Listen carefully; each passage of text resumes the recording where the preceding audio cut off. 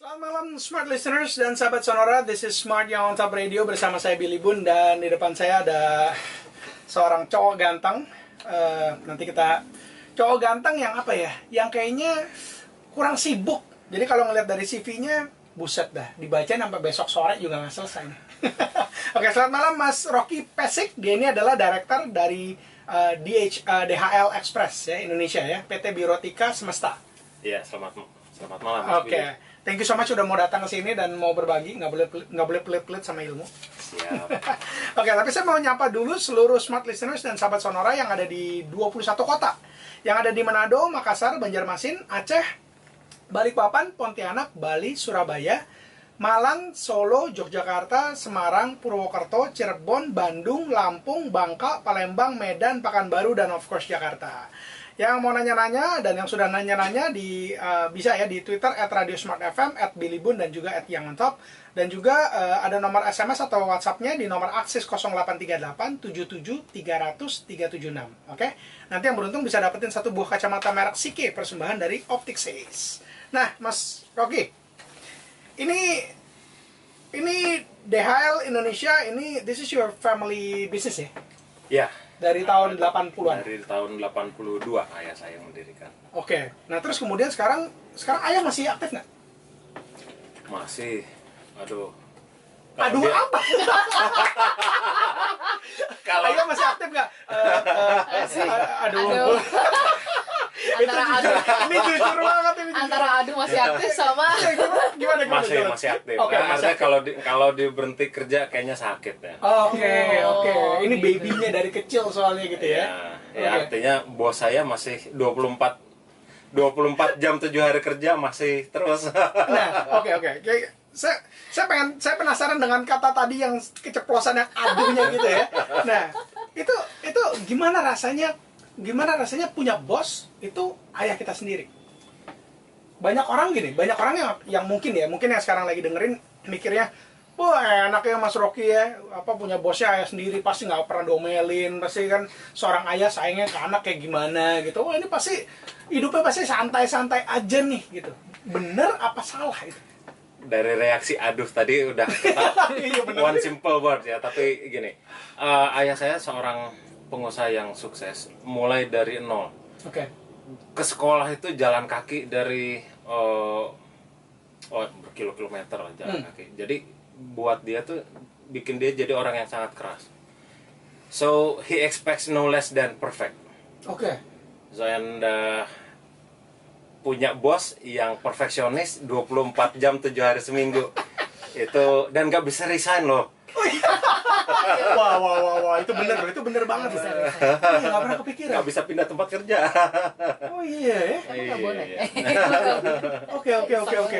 Jadi jadi jadi justru malah malah berat ya. Banyak orang yang mikir yang oh ada di family business ya pasti lebih santai dong, pasti lebih dimaklumin dong gitu sama keluarga sendiri gitu. Ini kebalikannya enggak ya? Di tempatnya malah luar biasa ya. Iya, eh, to be fair, inilah sebagai sebagai putranya ya saya punya eh, head eh, head start gitu. Iya. Eh, tapi it's tidak mudah, Hmm. tidak sangat tidak mudah. sangat tidak mudah ya apalagi ya tadi dibilang gitu ayah seorang apa pengusaha yang sukses gitu untuk fill in apa the shoes gitu ya untuk untuk bisa ngimbangin gitu itu eh, setengah mati tuh ya Susah. sambil geleng-geleng pala loh susah gitu oke nah Mas Rocky tapi eh, mundur jauh ke belakang dong saya penasaran kenapa ngam, kenapa kuliahnya ngambil teknik kelautan di mana ngambilnya Teknik Kelautan ITB. ITB oke Ya. ITB-nya oke ITB kita semua nggak ada yang nggak ada yang nggak tahu gitu ya tapi kenapa teknik kelautan kan Oke. Jadi sebetulnya dari tahun 94 itu lulus SMA saya udah tahu Indonesia ini negara maritim. Ya kan? Ya, oke, Lebih luas lautnya daripada daratnya. Iya, iya. Jadi eh, saya percaya bahwa suatu saat nanti Indonesia akan banyak membangun eh, pantai, jembatan, eh, bahkan minyak dan gas pun kita akan banyak di laut ya. Iya. Jadi itu eh, itu eh, apa jurusan yang saya pelajari di situ. oke Eh, diarahin sama orang tua atau enggak atau Enggak. pilihan sendiri Pilihan sendiri. Nah gini, oke, jawabannya belum memuaskan curiosity saya, penasaran saya. Karena gini, semua orang ketika dari kecil kita SD, SMP, SMA, semua orang juga tahu gitu kan bahwa tadi negara kita kepulauan kalau zaman dulu tuh kita masih ingat tuh 13.667 pulau kalau nggak salah dulu ngapal Sekarang lagi. udah 17 ribu. Iya, sekarang udah 17 ribu kan eh, muncul-muncul tuh pulaunya. Nah tapi kita semua udah tahu gitu. Tapi kenapa sampai bener-bener nge-trigger ini jurusan yang gue mau gitu? Eh, Ngelihat dari opportunity ke depannya, apakah mungkin apakah mungkin karena sering ngobrol sama eh, ayah misalnya gitu bahwa ke depannya ini 20 tahun dari sekarang, 30 tahun dari sekarang gitu atau whatever the future. Ini tuh masa depan yang luar biasa nih kita. Karena kan kadang-kadang kan dalam milih jurusan itu kan kita sering kali kan mungkin diskusi sama orang tua gitu kan. Yang ke depannya apa gitu. Mungkin di tahun akhir tahun 90-an semua pada bilang yang ngambil IT bagus karena IT ke depannya bagus gitu. Nah ini laut men. betul-betul ini kok. Jadi sebetulnya saya nggak tahu ada jurusan teknik kelautan sampai saya lihat daftar waktu mau uh, bikin formulir Iya. dulu namanya UMPTN. Oke. Ya.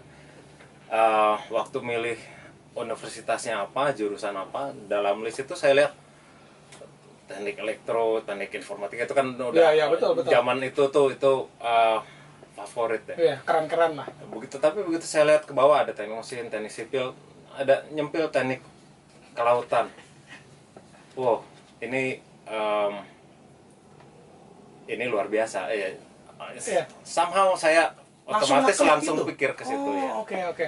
Jadi waktu itu udah kebayang tuh bahwa teknik lautan tuh, by the way teknik lautan belajarin apa? belajar sipil sebetulnya jadi Oke. teknik kelautan adalah eh, ilmu teknik sipil Ya. kalau dulu di ITB teknik sipil eh, S1 ada S2-nya itu spesialis di bangunan pinggir pantai atau lepas Oke. pantai itu ditarik ke S1 Hmm. Eh, jadi belajarnya bangunan Oke, pertanyaannya nyambung nggak dengan sekarang yang dikerjain? Atau dengan grup companies yang sekarang ada nih? aduh bikin malu ya enggak enggak nyambung. Oh. Oke, oke, oke. Bentar, bentar. Oke, kalau secara direct mungkin nggak nyambung ya. Tapi kalau kalau ngomongin eh, apa pola pikir gitu, dibikin mungkin sekarang ini dalam sebagai sebagai seorang apa director gitu ya, memimpin eh, banyak karyawan segala macam. Mungkin pola pola pikirnya ter- lebih terstruktur. Merasa iya nggak sih? Eh, Pasti ada, pasti ada efeknya lah ya. ada efeknya lah terutama saya terutama bidang project management ya Hmm. itu itu menurut saya sangat membantu tuh Oke. Oke oke. Nah, em, oke yaudah kita kita break dulu, kita break dulu. Tapi abis ini saya pengen ini gini kalau dibahas company-nya satu persatu sampai sampai minggu depan nih. ini semua yang penasaran nanti saya akan bacain company-nya satu persatu. Hopefully bisa selesai gitu ya.